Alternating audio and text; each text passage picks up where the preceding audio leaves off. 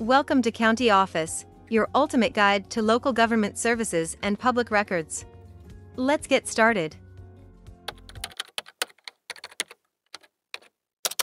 How does a medical examiner determine cause of death? If you've ever watched a crime drama, you've probably seen a medical examiner in action. But how does a medical examiner determine the cause of death in real life? Let's dissect this, pun intended. Firstly, the medical examiner conducts an external examination. This involves checking the body for signs of trauma or disease that may have contributed to the person's death. They'll look at everything from head to toe, literally. Next, they may conduct an autopsy, which involves examining the person's internal organs. This can help identify diseases or injuries that aren't visible from the outside.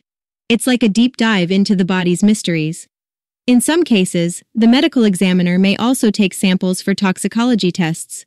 These tests can detect substances such as drugs or alcohol in the person's system. It's like a CSI lab in real life. Finally, the medical examiner combines all of this information to determine the cause of death.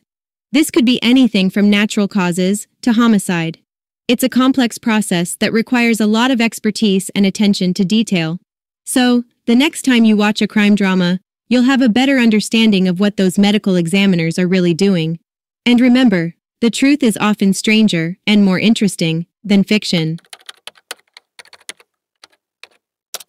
To learn more, check out these links which you can click in the description below, and feel free to comment your questions. We're here to help. Thanks for tuning in to our video. Please like and subscribe, and leave a comment below. See you in the next video.